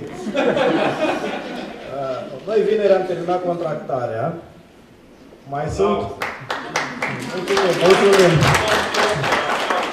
Uh, Mai sunt 5-6 beneficiari care, din motive obiective, în fine, deces, în familie, ne-au explicat, uh, vor veni astăzi, mâine sau poi mâine. Le-am explicat cine nu vine, pe data de 15 se emite scrisoarea de respingere. Deci, din punctul nostru de vedere, tot ce era de făcut s-a făcut. Cu greutăți, cu tot ce a implicat o mutare dintr-o locație în alta. Uh, și, bineînțeles, nu este vorba doar de lipsa de personal, ci de structura personalului. Noi am început cu trei evaluatori. Alte oficii, alte agenții aveau mai mulți evaluatori pentru că aveau un volum mai mare, gen Cluj și Ploiești. Dar, trecând peste tot acest efort și cu scuzele de rigoare, pentru că în anumite perioade uh, nu v-am putut răspunde la e mail pentru că erau copleșitori de multe, vom relua toată corespondența, cei care au trimis solicitări de mutare din mediul urban în rural, sau invers, de tot felul de mici modificări, le vom relua, vom transmite o notificare și vom vedea modalitate efectivă, ori un document cu semnătură electronică din partea noastră prin care să certificăm că v-ați mutat sediul, că v-ați mutat tranșele, că nu știu ce mai doriți. Acționari. Sperăm să nu fie foarte multe cereri de acționari. s-au semnat în regiunea nord-est? 800... Toată regiunea. Toată regiunea și la județ. A, 830 și... La Neamț sunt 82. Pe Neamț 82, pe Iași 345 și 830. 830 Iar verificările la ce număr UE au ajuns? 10.000. La 10.000. Acum, Inițial uh, era dată informația că se vor ocupa 10.500 de aceste verificări. nu, noi am spus, n-a mai fost nevoie. Au fost mai puține respingeri decât am așteptat. Și acum vreau să vă spun ceva foarte important. Săptămâna aceasta voi intra în ședința de guvern cu memorandumul pentru deblocarea costurilor din agenții. Deci vom avea o suplimentare serioasă de personal. În toate agențiile uh, noastre sunt oficiile care s-au transformat în agenții, au primit și, uh, să spunem, atribuții suplimentare în ceea ce înseamnă atragerea de investiții străine și comerț și uh, sper să avem și o bună, să spunem, co- colaborare și cu ADR-urile în acest sens. Și chiar cu domnul director vorbeam acum, să încercăm să avem o mai strânsă cooperare în această zonă. Deci, Anul viitor ar trebui să ne fie mai ușor cu programul Startup Nation, urmând să avem uh, mai mult personal în agențiile care se ocupă inclusiv cu implementarea programului Startup Nation. Te rog. Referitor la termenul limită de implementare 29 sau 27 septembrie 2018, există posibilitatea amânării lui în uh, concordanță cu amânarea evaluării pentru că există următoarea situație. Sunt persoane care și-au prins în proiect angajați timp de 12 luni, chirii de asemenea și mai mult decât atât există o neconcordanță în procedură între perioada de implementare 12 luni cu noul termen de evaluare. Perioada de procedură este de maxim 12 luni și pentru cei care au fost evaluați și au semnat mai devreme apucă acea perioadă, cei care au fost evaluați mai târziu nu apucă maxim de 12 luni, o să iau 11 sau 10. Haideți să tratăm această problemă la momentul respectiv. Dacă o să avem un volum mare de oameni cărora, nu știu, nu le-au ajuns echipamentele, vin pe mare, vin pe apă și luăm o decizie la nivelul august 2018 că pentru a face un bine e cel mai bine să ne ducem cu termenul, eu nu știu, până în octombrie, atunci vom face așa ceva pentru binele dumneavoastră. Dar să nu gândim de acum, suntem totuși cu un an înainte. Dacă vorbim, Da. de, Da, vă rog. dacă vorbim de egalitate de șanse, trebuie să țineți seama de faptul că o parte dintre actualii beneficiari vor beneficia de cele 12 luni și în zona uh, Moldovei cei mai mulți nu vor beneficia de acest maxim posibil. Adică, amânându-se termenul de evaluare, eu cred că ar trebui luat în considerare și Să luăm în considerare acest lucru. Nu, nu pot să vă răspund acum, dar să luăm în Te rog. Ca să facem proiecte mai bune în Moldova. Termen, termenul pentru fondul de garantare e la fel la toate băncile de 30 de zile sau termenul de răspuns e la fel la toate băncile? Băncile aici ne pot răspunde. Uh, Termenul de fondului de garantare a fost asumat prin convenție la două zile. Realitatea ultimelor zile spune că în momentul ăsta este undeva la două săptămâni. Dar uh, partea bună a lucrurilor este că în ultimele zile, cel puțin pe BCR, avem o rată de aprobare de 10-15 dosare pe zi. Asta în condițiile în care noi introducem 25-30. Deci încă n-am ajuns la ritmul maxim pe care ni l-am dorit, dar ceea ce vreau să vă asigur este că noi am discutat și împreună cu domnul Petrescu vom avea astăzi o întâlnire, în așa fel încât timpul să fie foarte mult scurtat, pentru că acolo a rămas acum perioada cea mai lungă. Nu e una incredibil de lungă, două săptămâni e un termen rezonabil, dar vrem să-l aducem la numărul de câteva zile pe care le-avem discutat la început. Dar din punctul nostru de vedere asta e situația, nu știu cum. Suntem în aceeași situație și noi. Nu știm să fie vreo prioritate în tratarea diferită față de banca aleasă.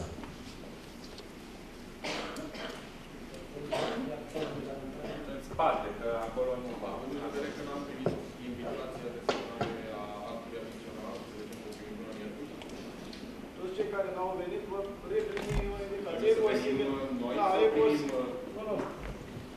Toți cei care nu au semnat acte adiționale, astăzi sau mâine vom retrimite un e-mail în care vom reinvita. Nu este nicio... Actul adițional, da, da, da. Acorduri au primit toți, mai sunt 5-6 care au motive obiective să... Dar nu am primit, ca să nu am primit. La ce? La act adițional sau ce? Este posibil ca între 5600 ruie cât am invitat inițial și primele acorduri semnate cu tot cu act adițional să fi fost câțiva care nu i-am mai putut programa, că au fost foarte aglomerați. Dar cu siguranță s-au concentrat pe acord. Aș vrea să vă întreb dacă în planul de afaceri inițial a fost uh, stipulată închirierea unui spațiu comercial de aproximativ 100-120 de metri pătrați. Uh, Ce ne oferă piața, din păcate, nu, nu corespunde uh, dorinței noastre. Putem modifica cumva uh, spațiul sau Da, nu, nu vă numărăm metri pătrați. Important e să vă înscrieți în limita bugetată. Dacă vă veți fi în centru, e clar că e mai scump. Deci, dacă în plan ați spus că vreți o suprafață de 120 de metri pătrați, care să coste 2000 de lei pe lună, și în cadrul bugetului de 2000 de lei ați găsit decât o suprafață de 80 de metri, o luați de 80 de metri. Dacă chiria este în plus, noi mergem până la limita aceasta. Deci puteți să și completați dacă doriți. Am semnat un acord de finanțare pentru o firmă care face activități de producție în domeniul lemnului. Și la finanțare am prins uh, utilajele Da. și spațiul aferent, uh, spațiu necesar desfășurării activității. În proiect am detaliat și am spus că acest spațiu uh, constă într-o clădire de 100 de metri pătrați și terenul aferent de 1113 metri pătrați. Pe un forum am citit cum că terenul aferent nu ar fi eligibil, Deci- dar eu, eu care prelucrez lemnul, am nevoie să-mi aduc, da, deci buștei, cu totul să, de, să depozitez cherestea, să adică ține, e- efectiv nu am nevoie doar de cale de acces, plus că am nevoie de spații de depozitare acoperite pe care le suport din cheltuieli proprii, ca să pot Siguranță nu desfășura. v-am adică- aprobat teren. Adică pe notificare. Nu, deci- Eu, din câte știu și te rog să mă corectez dacă greșesc, atunci când faceți o achiziție a unui imobil, da, și el include și terenul, de sub el nu este o problemă. Deci ca, Are deci e Păi, clădirea și stai o secundă, Adi. Dacă ea achiziționează o casă, da? unde vrea să-și desfășoare activitatea, iar acea casă are și 1000 de metri de teren, ca așa e proprietatea. Deci doar Așa cum arată procedura de implementare acum, la momentul ăsta. Uite, era o întrebare bună dacă o aveam la momentul summitului, dacă atunci când împreună am făcut schema și procedura. La cum arată procedura acum sunt eligibile, așa cum am scris acolo, hale, depozite, spații de producție și așa mai departe, dar fără teren. Dar vă dați seama Terenul achiziționat din surse proprii sau cu ajutorul instituțiilor de credit.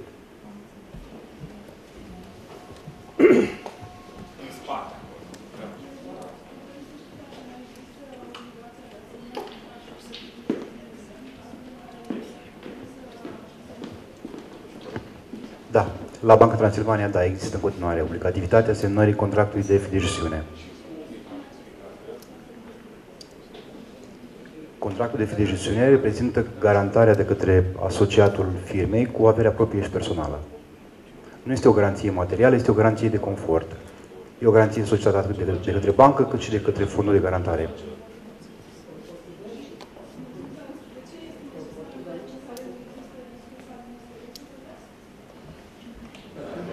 Cum spuneam, e o garanție solicitată atât de către bancă cât și de către fondul de garantare. Nu este o garanție materială, nu are valoare. Deci pentru aia 20% să trecă. Și pentru cei 20%. Dacă îmi dați voie, doar câteva clarificări. Fidejusiunea nu este o garanție pe care banca să o execută ușor sau să o dorească. Este o condiție a fondului de garantare și aută de cele trei băncile. Ce vă pot spune este următorul lucru. Să presupunem ipotetic că noi vă acordăm creditul și dumneavoastră nu-l implementați. Pot să vă dau exemplu pe care n-aș fi vrut. Un antreprenor care mi-a zis că, a zis unui coleg al meu, că o să-mi pun echipamentele în garaj la tata și o să văd eu când îmi fac afacerea. E, în premiza care exista și aceste cazuri, care sunt foarte rare sau chiar deloc, pentru că evident l-am învățat ce are de făcut, este evident că statul nu va plăti, dar doar dacă va exista o eroare atât de mare a antreprenorului. E, în cazul ăsta, banca își recuperează din FNGC IMM și echipamente. Deci șansele să se ajungă la executarea fidejusiunii, cea care este obligatorie pe cele trei bănci, sunt extrem de mici, pentru că celelalte două garanții acoperă de departe finanțarea. Cam ăsta ar fi procesul de executare. Teoretic, ipotetic, dar ca să vă dați seama, noi pe bancă am estimat cam un, un caz la mie de default. Atât de mare încredere am avut că proiectul nu va avea antreprenori care să nu-și ducă la capăt proiectul. Dacă mai încerc întrebare, ce privește garanțiile, se ia ca și valoare valoarea facturii sau urmează o evaluare care va fi taxată? Aici cred că fiecare bancă trebuie să răspundă. Din punctul nostru de vedere al BCR-ului nu există niciun comision de evaluare. Se ia valoarea din factură la care se aplică ajustările băncii, fără niciun cost pentru antreprenor. Noi nu mai luăm în garanție. Pentru un spațiu achiziționat în cadrul proiectului, dacă e locativ, trebuie să-l uh, trecem în, uh, înainte sau... Înainte de achiziționat, deci nu puteți achiziționa spațiul locativ. Deci ca și destinație comercială sau birouri sau industrială. Vă rog. Cererea de rambursare nu trebuie să, să facă achiziția tuturor echipamentelor, dar și a softurilor de producție. că sunt toate calculul atunci în punctajul de procent 50 peste în care primiți 10 puncte. Un magazin online se încadrează în soft de producție? aplicație de magazin, da.